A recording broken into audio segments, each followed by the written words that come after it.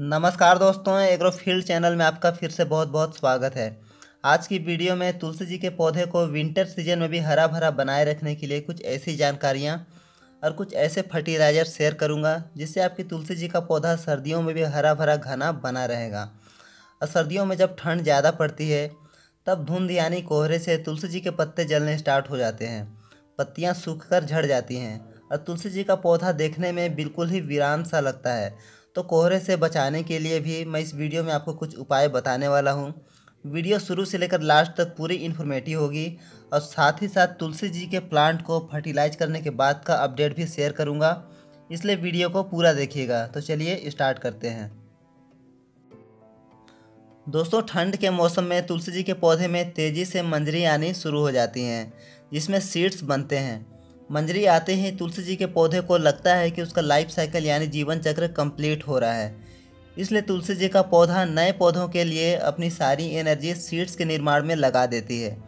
ऐसी स्थिति में अगर तुलसी जी का पौधा गमले में लगा हुआ है तो वे अधिकतर सूख कर मर जाते हैं। इसलिए सबसे पहला काम आपको यही करना है कि आप पौधे से सारे मंजरी को पिंच करके हटा दें। इसके साथ ही सूखी पत्तियाँ, सूखे ब्रांच सभी को हटा दें। आप चाहें तो पौधे की सेप को ध्यान में रखकर भी पिंचिंग कर सकते हैं, जिससे तुलसी जी का पौधा एक बूसी लुक में आ जाए और उसका बैलेंस सही रहे और चारों ओर से देखने पर बिल्कुल गोराई के सेप में लगे। इस तरह से तुलसी जी का पौधा देखने में भी काफ़ी प्यारा लगेगा। जैसा कि आप देख रहे हैं, मैंने कुछ इसी तरह से इसकी पिंचिंग की हुई है। इसके बाद तुलसी जी के पौधे में खाद डालेंगे। वैसे मैं इससे पहले की वीडियोज़ में तुलसी जी के पौधे में केमिकल फर्टिलाइजर्स डालने को रिकमेंड नहीं किया है। बट आज की वीडियो में ऑर्गेनिक के साथ साथ केमिकल फर्टिलाइजर्स भी मैं इसमें यूज़ करने वाला हूँ। अगर आप तुलसी जी के पौधे से पत्तियाँ नहीं तोड़ते हैं, चाय वगैरह में इसे यूज़ नहीं करते हैं तो मैं आपको रिकमेंड करूँगा कि आप विंटर में थोड़ी बहुत मात्रा में केमिकल फर्टिलाइजर्स का भी कभी कभी सहारा ले सकते हैं, ताकि तुलसी जी का पौधा तेज़ी से रिकवर कर सके। तो इसी को ध्यान में रखकर मैंने यहाँ दो लीटर पानी में दो मुट्ठी सरसों की खली और एक मुट्ठी डीएपी के दाने डाले हुए हैं। सरसों की खली जो कि विंटर में किसी भी प्लांट्स को फर्टिलाइज करने के लिए सबसे बेस्ट है। और डीएपी जो कि एक केमिकल यानी इनऑर्गेनिक फर्टिलाइज़र है, ये तेज़ी से वर्क करेगा। इतना करने के बाद इसे चार से पाँच दिनों के लिए सेडी एरिया में रख कर बीच बीच में इसे लकड़ी की मदद से हिलाते रहना है। सरसों की खली को आप जितने लंबे समय तक पानी में घोल कर रखेंगे, यह उतना ही ज़्यादा इफ़ेक्टिव और बेनिफिशियल हो जाता है किसी भी प्लांट्स के लिए। बट बहुत ज़्यादा दिनों तक रखने पर इसमें से बदबू आनी शुरू हो जाती है। इसलिए बेहतर है कि एक सप्ताह के भीतर आप इसे यूज़ कर लें।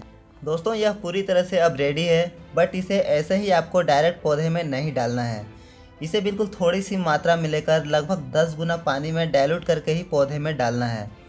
और जब तक तुलसी जी का पौधा पूरी तरह से डोरमेंट नहीं हो जाता है, तब तक आप इस लिक्विड फर्टिलाइज़र को महीने में दो बार डालते रहिए। इसके बाद अगली समस्या पर बात करते हैं। जब ठंड के मौसम में कड़ाके की ठंड पड़ती है, तब धुंध यानी कोहरे की वजह से तुलसी जी की पत्तियाँ जलनी शुरू हो जाती हैं। इससे बचने के लिए आपको तुलसी जी की पत्तियों में सादे पानी का स्प्रे रोज़ शाम के वक्त करना है। इससे होगा ये कि जब पत्तियाँ पहले से गीली रहेंगी तो उसमें कोहरे का कोई भी असर नहीं होगा। यह बिल्कुल आसान सा ट्रिक है किसी भी पौधे को कोहरे से सुरक्षित रखने के लिए। इसके अलावा तुलसी जी के पौधे को शाम के वक्त साफ़ कपड़े से भी ढककर रख सकते हैं। इससे भी तुलसी जी का पौधा कोहरे से बचा रहेगा। इसके अलावा तुलसी जी के पौधे को आप ऐसी जगह पर रखें जहाँ पर दिन भर की धूप आती हो। इससे काले रंग के कीड़े भी कम से कम अटैक करेंगे, क्योंकि काले रंग के कीड़े जो तुलसी के पौधे में सबसे ज़्यादा समस्या क्रिएट करते हैं, वो छाएदार जगहों पर लगे तुलसी जी के पौधे में ही ज़्यादातर अटैक कर पाते हैं। इसलिए आप इसे धूप वाली जगह पर ही रखें। तो चलिए अब इसके आगे का अपडेट देखते हैं। दोस्तों फर्टिलाइज करने के बाद मैं लगभग एक महीने का अपडेट वीडियो आपके साथ शेयर कर रहा हूँ। और यह तुलसी जी का पौधा अभी भी बहुत अच्छी तरह से ग्रोथ कर रहा है। इस वीडियो में बताई गई जानकारियों को अगर आप तुलसी जी के पौधे में करते हैं तो निश्चित ही तुलसी जी का पौधा ठंड में भी बहुत हद तक हरा भरा और घना बना रहेगा, जब तक कि टेम्परेचर बहुत ज़्यादा डाउन नहीं चला जाता। और पत्तियों की साइज़ की बात करें तो अभी ठंड के मौसम में पत्तियों का साइज़ ज़्यादा इंक्रीज नहीं होगा। क्योंकि किसी भी प्लांट्स के पत्ते मौसम के अकॉर्डिंग ही छोटे या बड़े होते हैं। तो आई होप दोस्तों यह वीडियो और इस वीडियो का इन्फॉर्मेशन आपको ज़रूर पसंद आया होगा। वीडियो पसंद आने पर वीडियो को लाइक शेयर और सब्सक्राइब करना नहीं भूलिएगा। और अगर आपने पहले से इस चैनल को सब्सक्राइब किया हुआ है तो आपका बहुत बहुत धन्यवाद। तो मिलते हैं नेक्स्ट वीडियो में, तब तक के लिए आपका धन्यवाद। Thanks for watching